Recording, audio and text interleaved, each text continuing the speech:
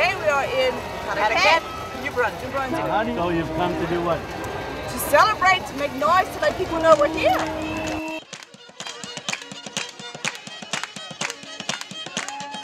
met quite a few people and with some other friends that we had met before and we kind of got some new friends now.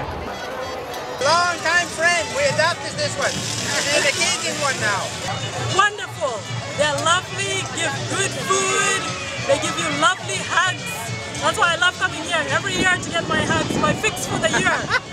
In some cases, you can knock on the door, ask for directions, ask for help. People will go out of their way to help them and make sure that they're having a good time with regards to it. There's hospitality in every home that you'll exist in Acadia. With regards, don't be shy. Make sure you're you're comfortable. You're welcome. Come home. You take with you a sense of home. Coming here, they can't, this is our first time, my first time ever here. And coming here on the way, our friends would say, when you get there, you're gonna go home. It's like going home, and that's what it was. And we can bring that back to a, to our Acadiana, and and it just makes the world that much smaller, and it just links us.